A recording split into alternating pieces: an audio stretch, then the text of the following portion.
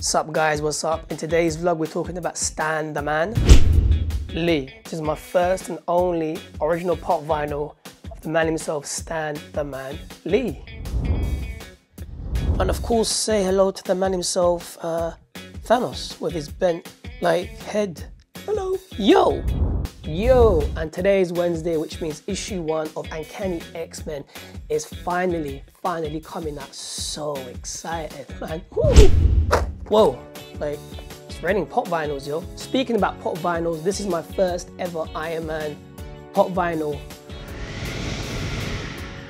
So, in a nutshell, today's RIP Stan Lee vlog is going to be literally how Stan Lee and Marvel have impacted my life in a very amazing, positive way.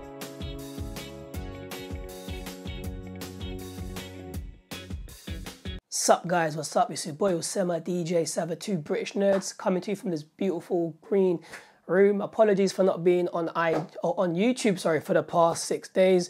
My Mac went into repair basically um, for about three, four days, and then I got sidetracked with some um, projects that I've been currently working on, which is basically me just creating so much micro content for Instagram, um, Snapchat, that I didn't actually get enough time to really uh, push out YouTube videos, but I am back. So I'm looking forward to being more consistent once again with more um, YouTube content as usual. So apologies, but I am back. So that being said, let's get into today's new vlog being of course RIP um, Stan the man Lee. So just recently, I believe it was just um, just yesterday or the day before yesterday, um, the man himself, Stan Lee, passed away at the age of 95, which really shattered the whole comic book community. And surprisingly, it shattered like around around the whole world, man. Everyone felt um, his death. It was like when he passed away, it, it reminded me basically of when Michael Jackson passed away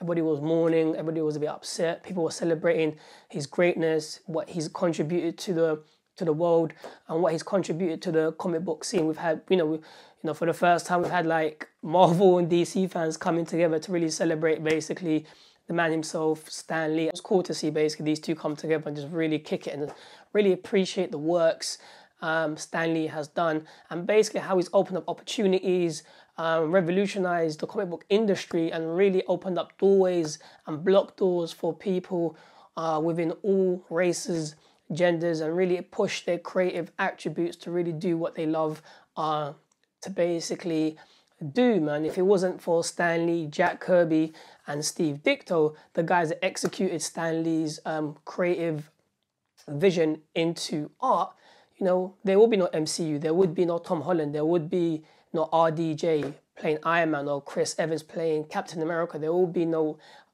MCU. Period. You know, there would be no no uh, no X Men cartoons. There would be no cosplayers. You know, you know these people and Stan Lee really revolutionized basically um, you know the comic book scene in all aspects.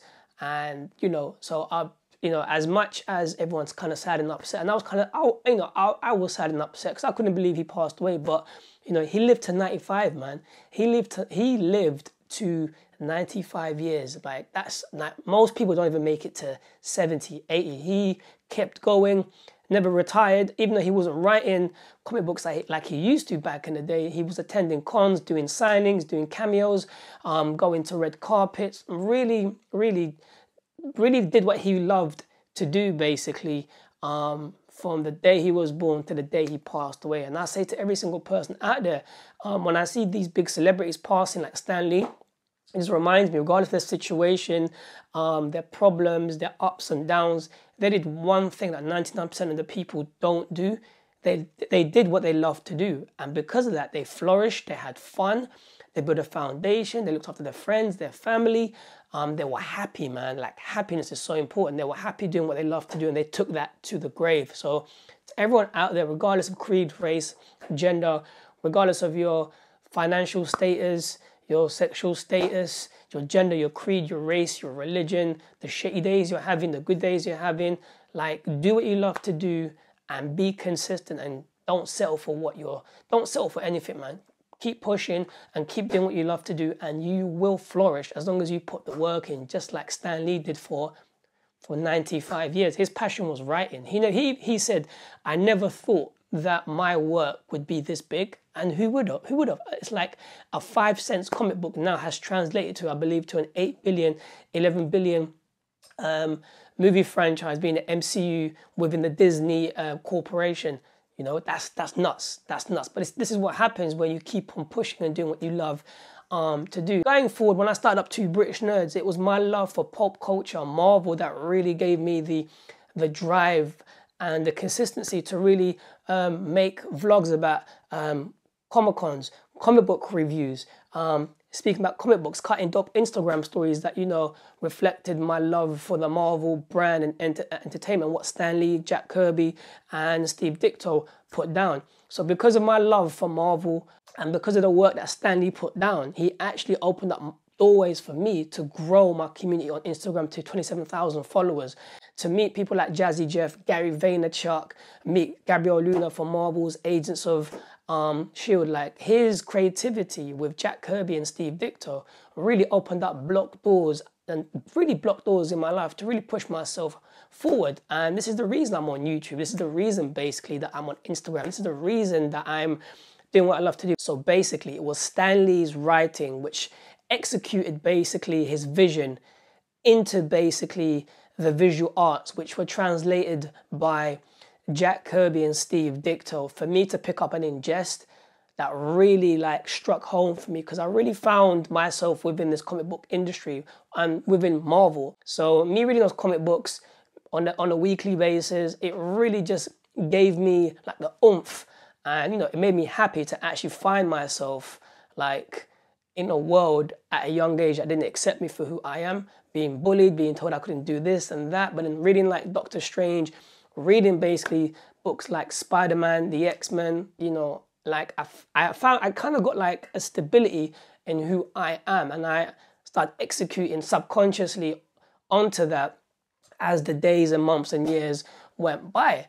I have nothing but love and respect for Stan Lee, Steve Ditko, and Jack Kirby for literally putting their mind, body, creative soul into this planet for us to basically to take on and do and do what we love to basically um, do, man. Like, you know, it, it, it's amazing, like, how these people have opened up portals, just like Michael Jackson opened up a very, very big portal in the music industry. And of course, he, he, he injected so much culture, which is essentially why I love the Marvel brand because they're all around culture, their comics, the way they do um, their promotions, their marketing, um, they really, really get the people involved. You know, Black Panther being one of them, where they really got the black community so much involved within the comic book industry. And previously, you know, it was it was a very, very big gap.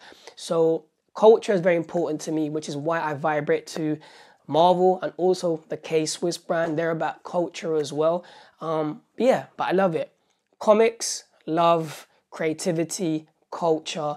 What more could you possibly want from a brand? So Stan Lee, RIP, Jack Kirby, RIP, Steve Ditko, RIP. Your works will never be forgotten. So as always, guys, boys and girls, ladies and gentlemen from all around the world, click, like, smash, bash, punch, kick, Stan Lee, Excelsior, that YouTube subscribe button, hit that bell button, and I'll catch you boys and girls later on with a new uh, video, man. Peace.